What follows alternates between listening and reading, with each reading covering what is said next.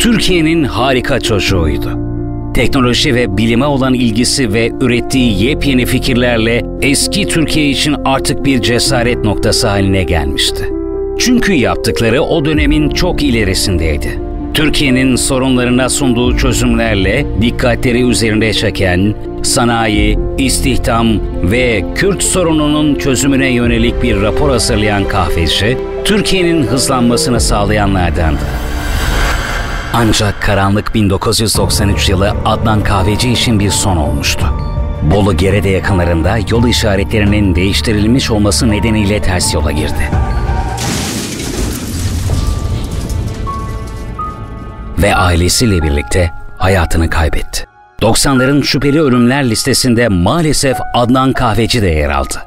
Adnan Kahveci'yi saygı ve rahmetle anıyoruz.